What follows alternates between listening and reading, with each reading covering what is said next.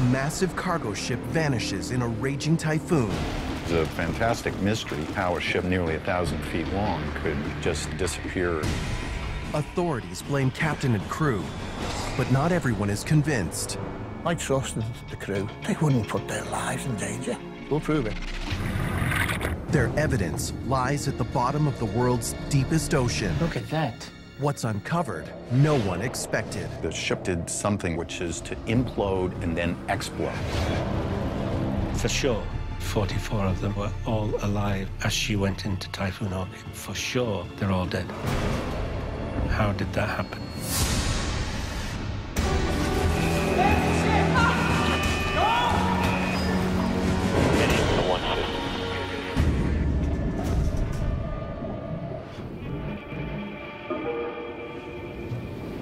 September 8, 1980.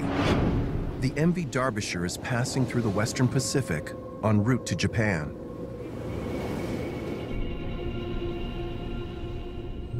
Captain Geoffrey Underhill is in command of the massive ship.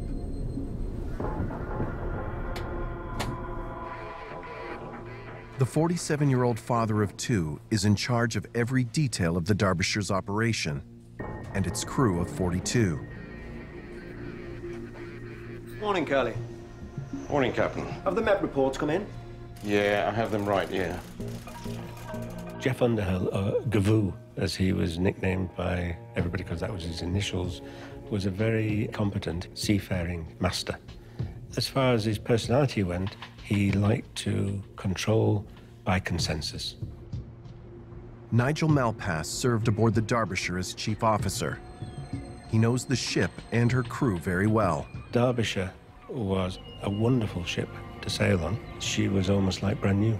There was hardly any wear and tear on her, and things worked. Unless you've actually sailed on one, it's hard to visualize how big they were, but they were really massive.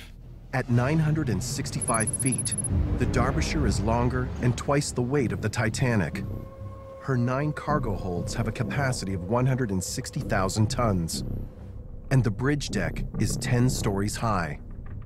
A ship of this size can take over two miles to stop and almost a mile to turn. The Derbyshire is a bulk carrier. Her huge holds can be filled with anything from grain to crude oil. But on this trip, she's carrying 157,000 tons of iron ore. After leaving Canada and passing around the southern tip of Africa, she's now just a few days from her final destination, Kawasaki, Japan. Because of her size, she's had to take the long way around. She was called a, a Cape-size ship because she was 145 feet wide and drew 60 feet of water and was just simply too deep to go through either the Panama Canal or the Suez Canal. So she had to go beneath the capes. Cape Horn, Cape of Good Hope, into some of the roughest waters uh, of the world. By now, ship and crew have been at sea for more than two months. Most are experienced seamen, including 19-year-old deckhand Peter Lambert. This is his second year at sea, and he loves it. We couldn't stop talking about it. Loved it. You know, I always, I always feel a seafarer is born. You can't make one. You form very close bonds with the seafarers that you're with. Your life at times depended on it. Ship's crew is like a family because they're on the vessel for extended periods of time together.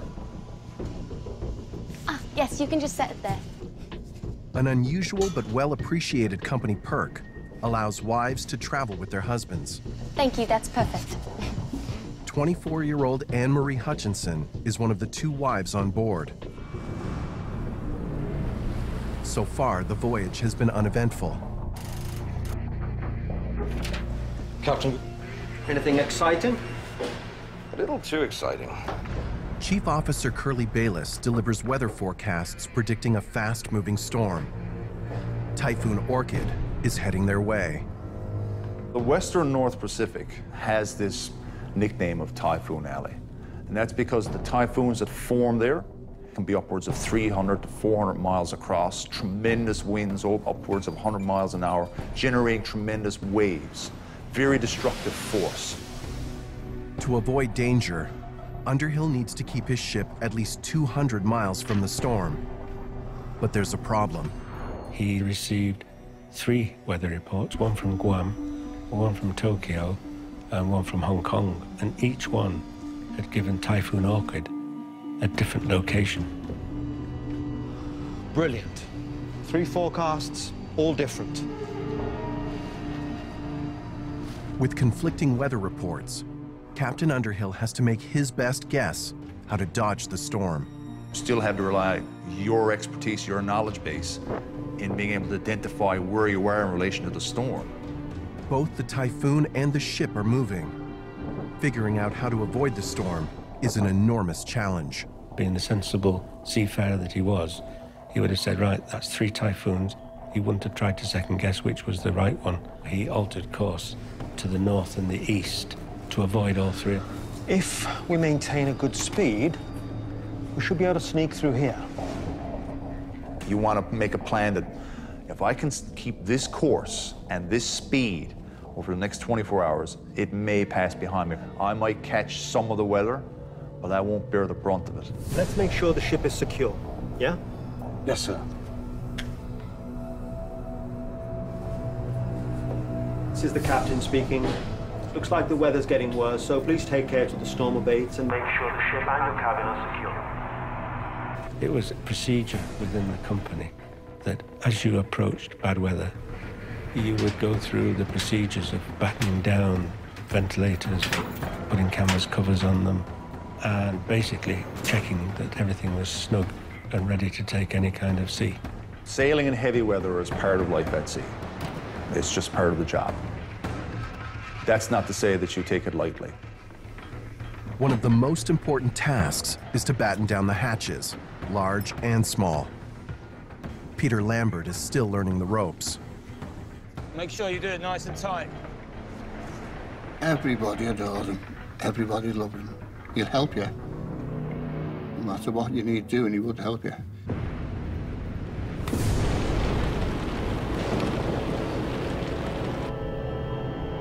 Captain, we're down to eight knots. Within hours, it's clear the captain's plan isn't working. Despite their change of course, they're hitting heavy weather. The swelling seas are already making it hard to keep up their speed. Autopilot off. Let's see if we can make some better headway.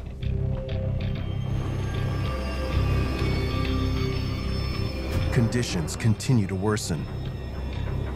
An unexpected shift in the storm's direction has put them directly in its path.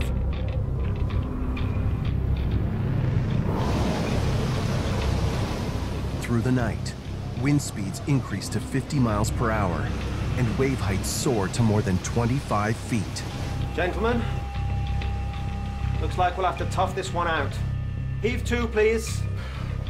Heaving to. Keep the wind light on the starboard bow. Turning to port, keeping the wind light on the starboard bow. What the captain wanted to do at the time was adjust his heading and his course such that he was taking the waves right on his starboard bow. Because that will cause the ship to just rise and fall, but along her length, but not roll and not pitch. As the center of the typhoon closes in, winds have increased to 64 miles per hour and wave heights to more than 35 feet. These are conditions that few people have experienced at sea. The wind is very loud. It's roaring, basically. The ship is pitching. Very little visibility, and generally an unpleasant situation to be in. There's little else to do but endure the violent motion of the ship. It has a long-term effect over days of that on the crew. It's exhausting. The fatigue sets in because nobody really sleeps, particularly if you're really battered in some heavy seas. Captain Underhill probably didn't leave when the weather really picked up because he has to be there. He has to see what's going on. It's just continued vigilance all the time, a weary vigilance. Radio our position to Liverpool.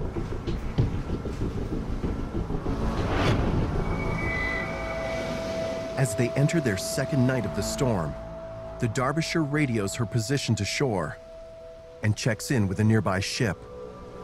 This is the Derbyshire. How are you enjoying the weather? Loving it. Even better when we meet up in Tokyo. Seeing you there in a day or two. William McCrone was on a container ship heading to the same port in Japan. Actually, we were talking to the Derbyshire on the VHF at the time, and he made arrangements to meet the guys on board because there's a, there's a nightclub in uh, Tokyo called Fufu's in Roppongi. We're all going to go up the road and have a night in Fufu's, but uh, unfortunately, never happened. 20 degrees starboard. 20 degrees to starboard, Captain. Easy does it. By now, more than two days of unrelenting gale force winds have whipped the waves to monstrous heights. Then, later into the night, We're gonna feel this one.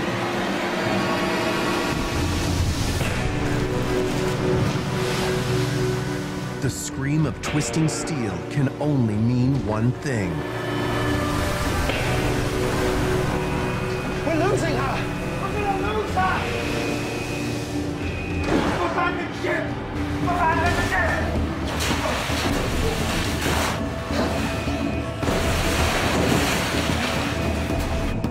Abandon ship. It would be only in the last few seconds they would have realized what was happening.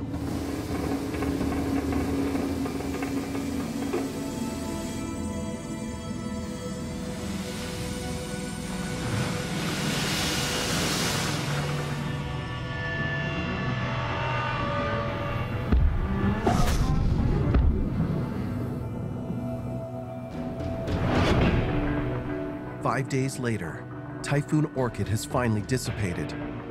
But no one has heard from the Derbyshire, not even a mayday call.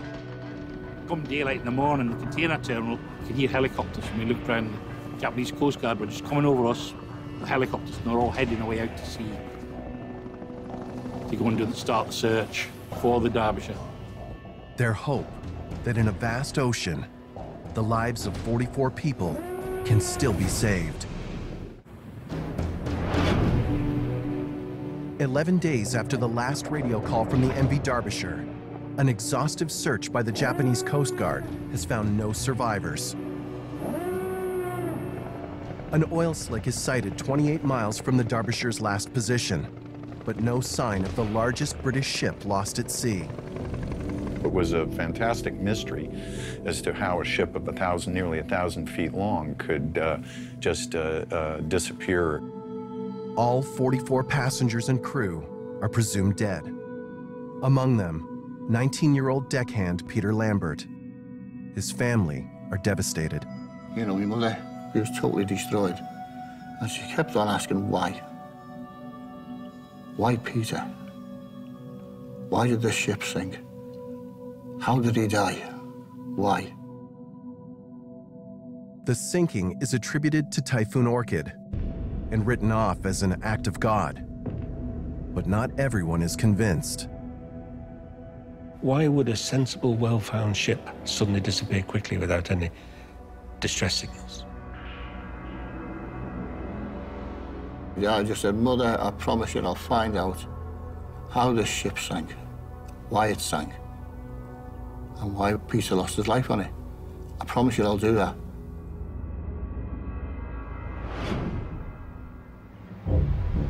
Wasting no time, a 28 year old Paul Lambert reaches out to the National Union of Seafarers. What I wanted to ask you about was actually Derbyshire. I think you should take a look at this. Different ships have been going down, and nothing was getting done about it. Derbyshire was the same. All the same type of freighters. Lambert learns a shocking number of bulk carriers have been sinking. On average, one bulk carrier sank every six to seven weeks with total loss of life. The era of the coffin ships, that's how he classed it. Lambert is convinced the lives of other seafarers are in danger, but he can't get anyone to act until another accident, six years after the tragedy, changes everything. The turning point was in 1986 when the Derbyshire sister ship, the Kowloon Bridge, got in difficulties in the Irish Sea.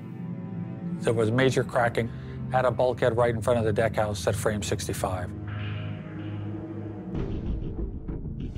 The Derbyshire is one of six sister ships designed with steel beams along the length of their hulls to add strength. But during construction, the girders are joined at frame number 65, creating a potential weak point. Now, three of the six ships have had something go badly wrong at sea.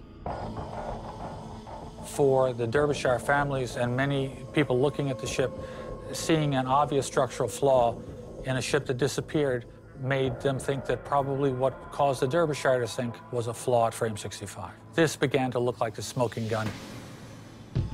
The families fear that if a design flaw did cause the disaster, other lives could be at risk.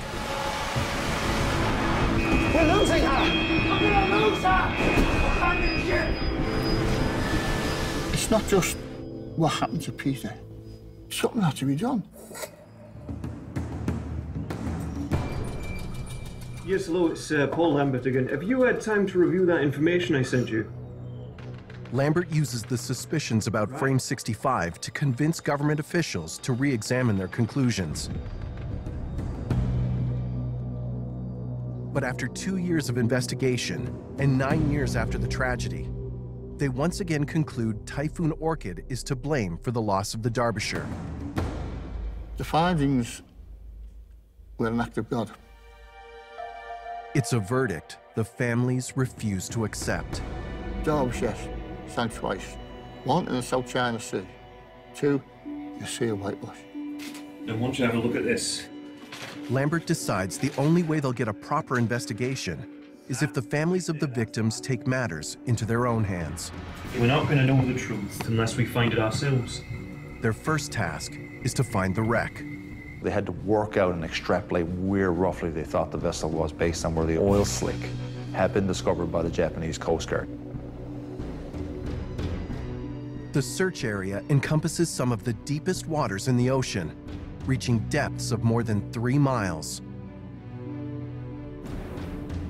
In those days, there was very limited capabilities to really search large areas of the, of the seafloor, and uh, for the most part, the wreck was thought to be unfindable. Undaunted, Lambert and the other families of the crew do something that's never been done before. They raise enough money to launch a short eight-day search, and they get lucky. 14 long years after the tragedy, on the fifth day of the expedition, they confirm the location of the wreck.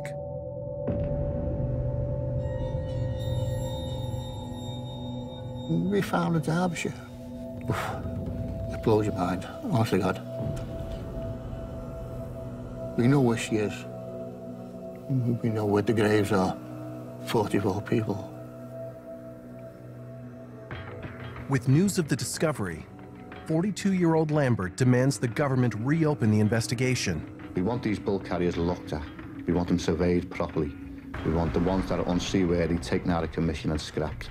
We want men to go away to sea, knowing that the ship underneath them is safe, not worrying whether they come home again or not. In the face of overwhelming public interest, the British government agrees to fund a full-scale expedition. And this time, they bring in the heavy guns.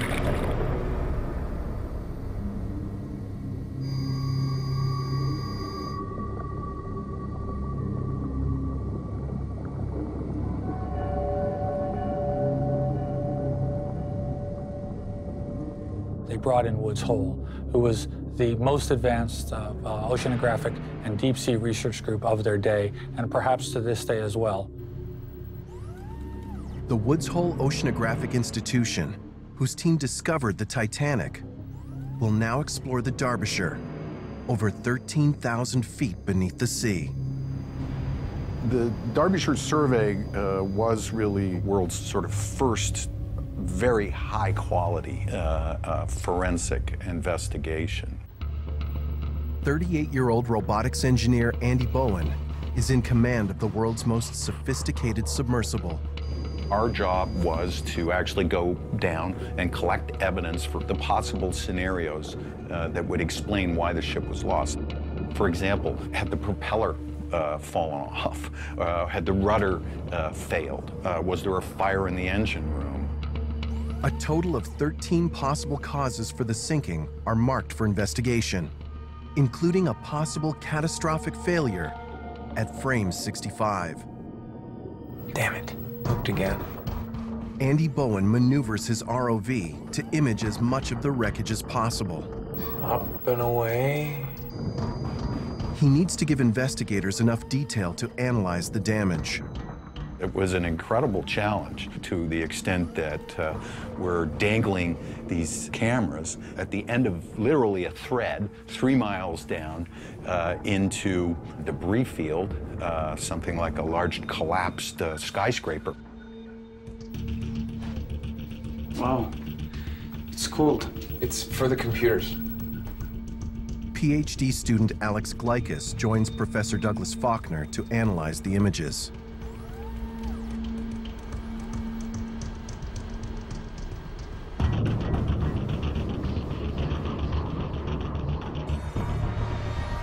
You had a visibility up to maximum 10 meters. That's all, that's all you could see. The debris is scattered over nearly a mile of the seafloor. All right, let's move in for a closer look.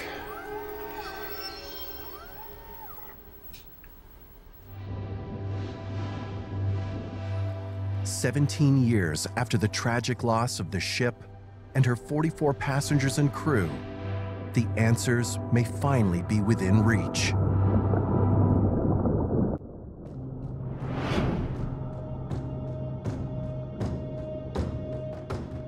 Investigators guide a remote camera vehicle two and a half miles below the surface of the Pacific Ocean.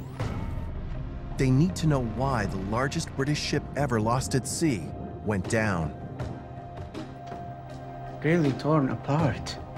Look at that. The giant ship has been shattered into over 2,000 pieces of twisted metal and debris. I was wondering why the ship is fragmented. Why the ship is not in two, three pieces, like the Titanic, for example. Andy Bowen has examined many shipwrecks, but he's never seen anything like this before. I think everyone was staggered by the fact that it covered such a large area. The bow and the stern of the ship were in two separate places, separated by a significant distance. And everything else in between, all of the ship's structure, was for the most part turned into what I, I, I would almost call confetti. The twisted metal fragments are a telltale sign of a violent phenomenon that can tear a ship apart. When the Derbyshire sank, because of its unique construction of a double hull, uh, it actually did something which is to implode and then explode. As the Derbyshire sank below the waves, increased water pressure drove her watertight double hulls inward. At that point, the trapped air became so highly compressed, it exploded. It, it explodes back out in a shockwave. And that energy release was probably equivalent to many tons of TNT. And so the wreckage on the seafloor was uh, just huge pieces of ship twisted by uh, energy that just is almost impossible to imagine. In other words, the explosions were the result of the catastrophe, not the cause. Investigators still have no idea what set off the disaster. The ROV has captured thousands of high-definition photographs. Investigators scrutinize them, searching for any sign of a fracture that occurred before the ship sank. In particular, around the known structural flaw at frame 65. We definitely had to find evidence whether the rupturing of all the metal parts around bulkhead 65 was brittle or ductile. Ductile means that it took place slowly. Brittle means that the fragmentation took place rapidly. But it's a dead end. Frame 65 shows unmistakable signs of the same explosive phenomenon. It wasn't frame 65. This happened when she was already going down. The cause they had hoped to prove, a weakness in her construction, is not the reason the Derbyshire sank. We evidence that all these empty compartments aft of the bulkhead 65 had been imploded, exploded when uh, the ship was sinking. So that means that there was no cracking on bulkhead 65. If it wasn't frame 65, something else must have triggered the disaster. We're losing her! We're gonna lose her! Find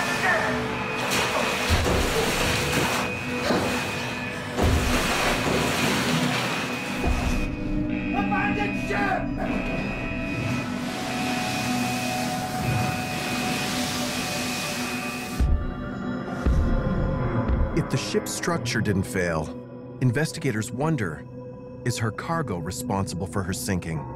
Derbyshire was carrying this iron ore. The snowstorm of this uh, fine uh, material, it was scattered everywhere. Ore carriers are very dangerous ships because they have such heavy, dense cargoes that as soon as the ship starts flooding and loses buoyancy, the ship goes straight to the bottom. An ore ship sinks literally like a stone. On this voyage, the Derbyshire was loaded with 157,000 tons of iron ore, a cargo so heavy, only seven of her nine holds could be partially filled. You need to ensure that your center of gravity and center of buoyancy, what's called the GM, is moderate. Otherwise, you get what's called a dead ship. It doesn't have that buoyancy and it whips from side to side. Is it possible the crew made an error when they loaded the ship?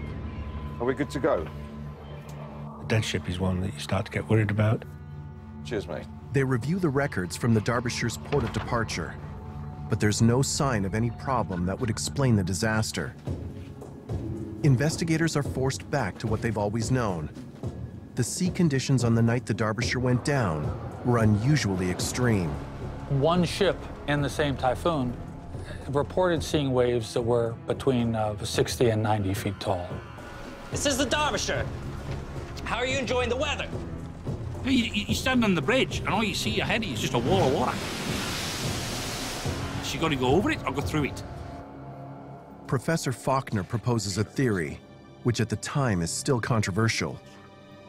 Perhaps the Derbyshire was overcome by a rogue wave.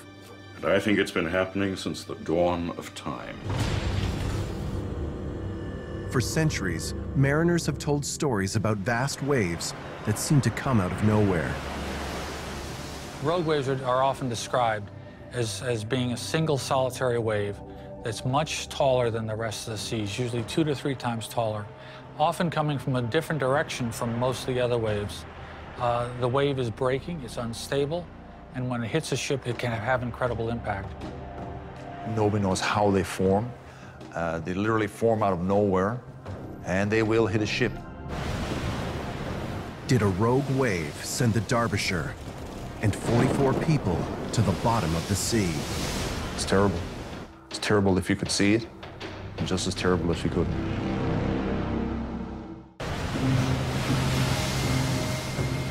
Investigators believe the hull of the Derbyshire was nearly intact when she sank. Was she overcome by a rogue wave? Or was it something else? They analyzed photographs of the wreckage, hoping to find out. We're talking about 135,000 still images.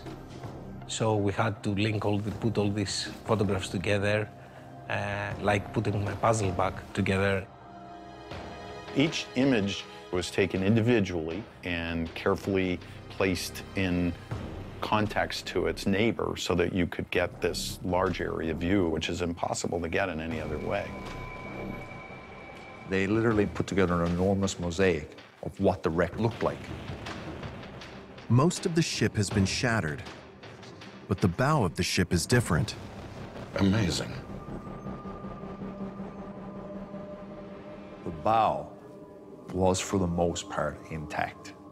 And that indicated that the bow was generally flooded and full of water, and therefore did not fracture, did not compress or explode under water pressure, which says a lot about the possibilities to why the ship sank.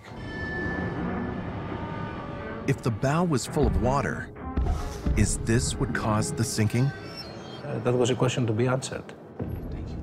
How the water went, came inside, and why there was water inside. As investigators search for the source of the flooding, they find a troubling image. We had close-up, uh, high-definition photographs from the bow, and we saw the, uh, the open huts. The lid was lost. The butterfly screws were at a full extent, which meant that they could not have been uh, locked. So there is a scenario starting forming there that hatch had been uh, left open. The open hatch they've discovered is the bosun's hatch, leading to a storage compartment below the forward deck. Let's make sure the ship is secure, yeah? Yes, sir. Is it possible the wing nuts on the bosun's hatch were not properly secured by the crew? Make sure you do it nice and tight. If the hatch opened during the storm, tons of seawater could have entered the storage space below and loaded down the front of the ship.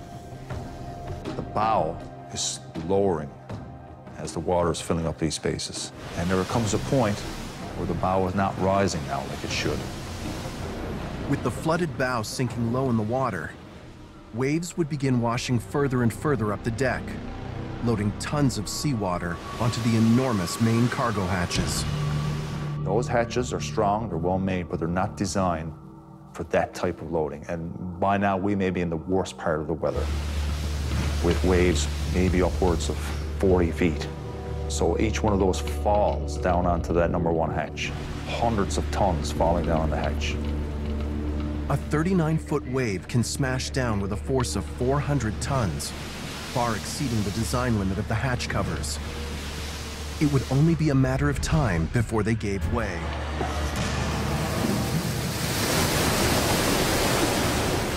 Look at that. Once the first cargo hatch collapsed, the nearly empty hold would fill quickly, pulling the bow even deeper into oncoming waves. The covers failed on hatch number one. Hatch number two is empty. Hatch number two fills with water and begins pulling the ship down even further. By the time she reaches hatch number three, and, and that is filling, the ship is well on her way to the bottom.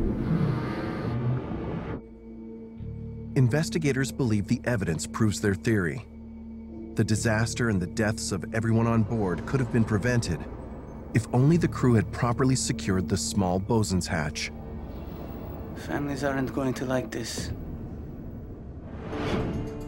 As a courtesy, the families are told the news before it's released to the press. When we delivered the presentation to the families, there was an astonishment in their face. I'm sorry, but the pictures indicate the hatch wasn't secure. The, the hatch wasn't secured. What does that mean, Mick? It seems like bad seamanship. Bad seamanship? The bosun hatch wasn't secured. No, that's wrong. No, you're wrong about that. Evidence that pointed towards maybe there was a human error, I, I think really fueled the fire for these people. They said, no, these people were professional. There's just no way that kind of a crew would do something that would put themselves at peril. You're wrong about this, and I'm going to bloody prove it. Now, I trusted the crew. They wouldn't put their lives in danger. You've spent all these years not being able to grieve properly. Leave, thank you. Fighting, campaigning, doing whatever you can, whatever you have to. And you come back and you say, bad seamanship. Just look at the pictures. The hatch wasn't left open. We'll prove it. In the search for proof, the Derbyshire's former chief officer may already have the answer. I knew for sure that the conclusions that had been drawn so far were wrong.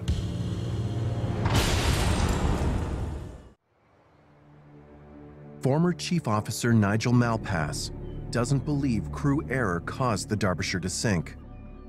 He was supposed to be aboard that final trip, but a last-minute crew change saved him.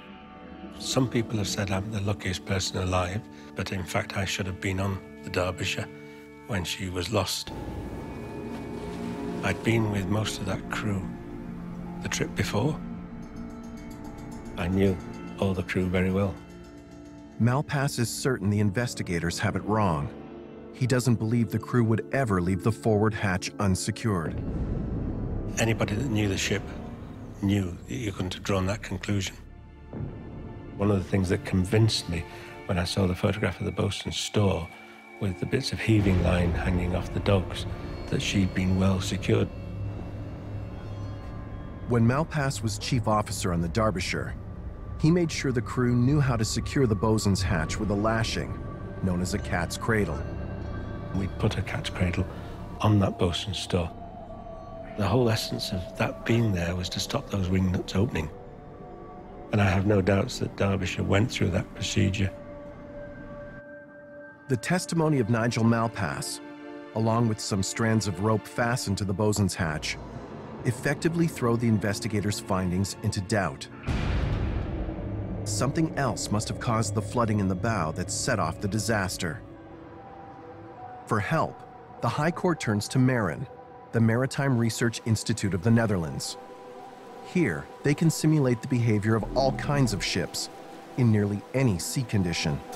In fact, we were the only facility in the world that could replicate uh, the wave condition that happened during the accidents. We could make any kind of waves, long crested waves, short crested waves, that means waves coming from different directions. Um, and this was a very, very unique uh, capability at that time. The team at Marin are tasked to recreate the conditions of Typhoon Orchid and test its impact on the Derbyshire. They need to know if something other than crew error could have set off the disaster. There was very large expectation from the families. We really felt the pressure that we really had to, uh, to perform. We want the truth. If it is bad seamanship, fair enough. As long as they can prove without a shadow of a doubt someone made a mistake, we'll accept it. For the Derbyshire test, the tank is programmed with detailed meteorological information about Typhoon Orchid. A precise 15-foot replica is loaded with sensors to track the stresses the typhoon put on the ship and its forward hatches. It's a scale model, but the geometry must be very, very accurate. Um, we also model the propulsion train because the, the speed of the ship was of importance. The, the loads would be different if the ship was sailing at zero knots or two knots, four knots. One of the key ideas is to have an unbiased impression of the behavior of the ship in storm uh, condition.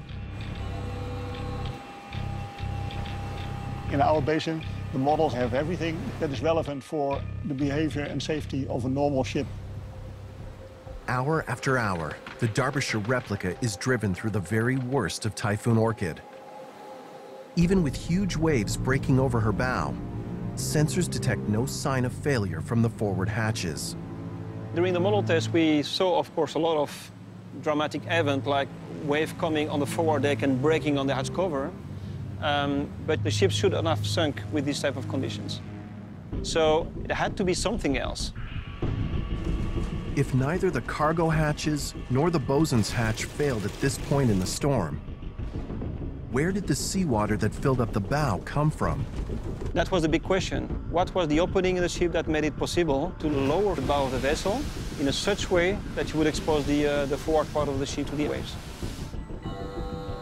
Weeks of tests turn up few clues until the team turns to a theory so unlikely it hardly seemed worth considering. Air vents on the forward deck lead down to open storage areas below. Wreckage photos reveal the caps that keep water out of the vents were damaged by the heavy seas. Did the damaged air vents let in enough seawater to cause flooding in the bow? We proposed to mimic those open holes on the model, but the question was, are these openings big enough? Can we prove that, that the time frame over which the ship was exposed, that that's long enough that it, it fills completely? The air vents are so small, they only let in a trickle of water compared to the size of a ship. But Typhoon Orchid lasted more than two days, long enough for that trickle to become a flood. We were able to show that the ingress rate uh, was more than enough to explain that the entire forepeak was full of water. Once flooded, the bow sinks deeper into oncoming waves, and the large cargo hatches are hammered with more and more water. within five to six hours, you would get waves uh, that would create loading in excess of what is admissible for hatch cover. It was a big surprise for everybody to realize that so tiny little holes could produce this chain of event, and this was really the breakthrough. The discovery is the missing link investigators needed. They now know what caused the 20-year-old tragedy. It began when the Derbyshire's captain and crew were enduring their second day of Typhoon Orchid. 20 degrees starboard. 20 degrees to starboard, Captain. Easy does it. They're unaware of the danger unfolding under the forward deck. The ventilator caps are gone. There's water now filling into the bosun's locker and into the lower stores. And from the bridge, you can't see this. You'd be very lucky if you can see it all. Maybe we have the foremast light on. You may be able to just make it out, but you can't see that it's slowing in its rise and its fall. It's not as high now. The Derbyshire has endured more than two days of pounding seas. Now we have waves spilling over the bow and making it down as far as the number one hatch.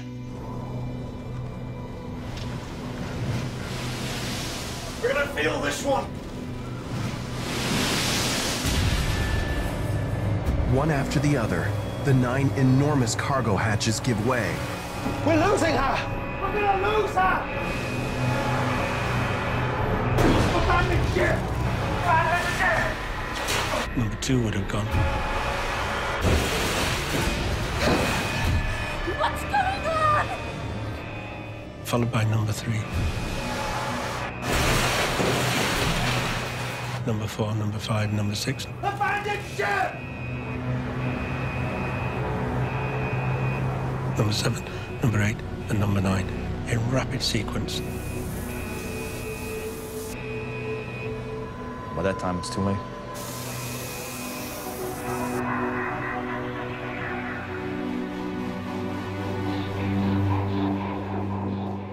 The fate of everyone on board is sealed.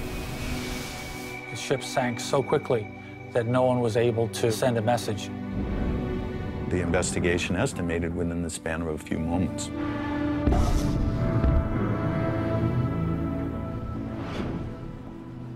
On November 8, 2000, the High Court inquiry in London concludes that the Derbyshire sank due to waves destroying air pipes in the bow, triggering uncontrollable flooding. The one thing that we've lived with now for over 12 months is the fact the assessors blame the crew for the loss of the ship, and today they're being completely exonerated. The court delivers new safety recommendations for bulk carriers.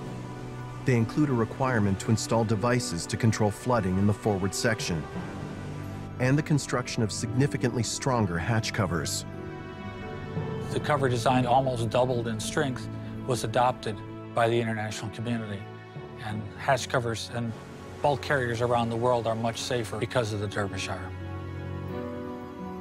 In 2004, Paul Lambert and the Derbyshire Family Association's efforts to improve safety are recognized when they're awarded the Marine Society's Thomas Gray Silver Medal.